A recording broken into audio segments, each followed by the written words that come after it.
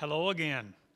Okay, so for today, I thought maybe we would take a lighter approach and uh, we're going to have an Old Testament lesson. Uh, if you want to look at the sixth chapter of Daniel, you will see that this is factual. This is the way it was. Well, there's one line in there that's probably a little exaggerated, but the rest of it, I think you'll get the idea.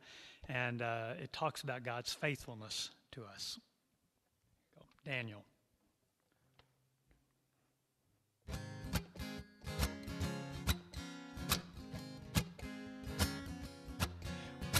Well, it started long ago, about 539 BC. A Jew named Daniel was appointed to the presidency.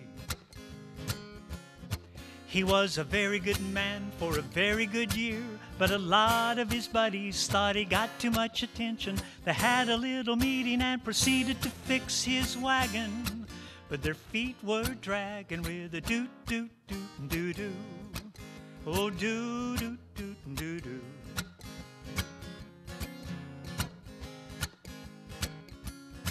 They were thinking of ways to drag old Daniel down. But Daniel was so good, not one fault could be found.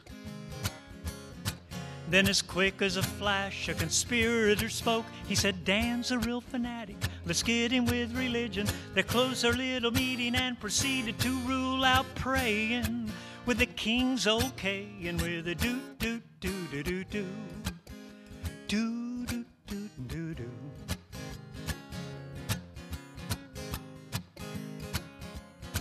Well, the news spread fast with the first big press release. It said no more praying, but Daniel stayed on his knees.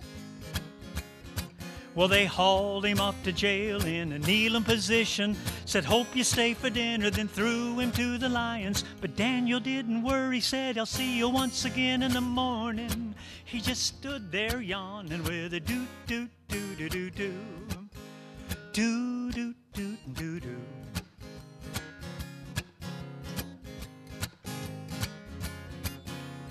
Early in the morning when the sun came up, the king he was feeling down.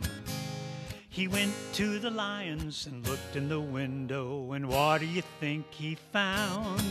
Well, old Daniel was a leading those lions in a hymn. They were clapping their big brown paws. He said, An angel of the Lord done arrived last night and clamped the lion's jaws. He really did, you know. The king got so excited he wrote a new decree. He said, Listen, all you people, won't you lend an ear to me?